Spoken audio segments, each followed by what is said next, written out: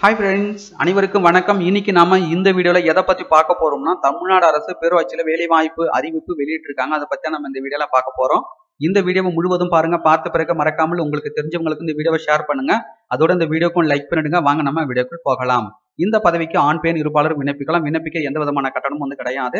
இந்த வேலைவாய்ப்பு அறிவிப்பு பார்த்தீங்கன்னா தேனி மாவட்டம் ஓடைப்பட்டு பேரூராட்சியில் காலியாக உள்ள தூய்மை பணியாளர் பணியிடம் ஒன்றினை பூர்த்தி செய்வதற்கான அறிவிப்பு வந்து கொடுத்துருக்காங்க. ஸோ அதற்கான டீட்டெயில்ஸ் தான் நம்ம இந்த வீடியோவில் பார்க்க போறோம்.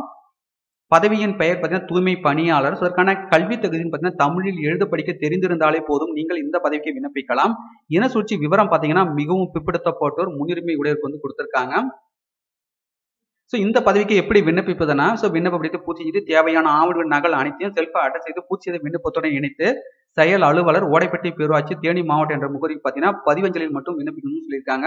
நேரில் வரும் விண்ணப்பங்கள் ஏற்றுக்கொள்ளப்பட மாட்டாதுன்னு சொல்லியிருக்காங்க. ஸோ விண்ணப்பிக்க வேண்டிய கடைசி எங்கேன்னு பார்த்தீங்கன்னா பதினஞ்சு ஏழு இரண்டாயிரத்தி இருபது. ஸோ இந்த பதவிக்கு பார்த்தீங்கன்னா ஓடைப்பட்டி பேராட்சி எல்லைக்குள் தேனி மாவட்ட எல்லைக்குள் வச்சுக்கு மட்டும்தான் இந்த பதவிக்கு விண்ணப்பிக்க முடியும். பிற மாவட்டங்கள் இந்த பதவிக்கு விண்ணப்பிக்க முடியாது.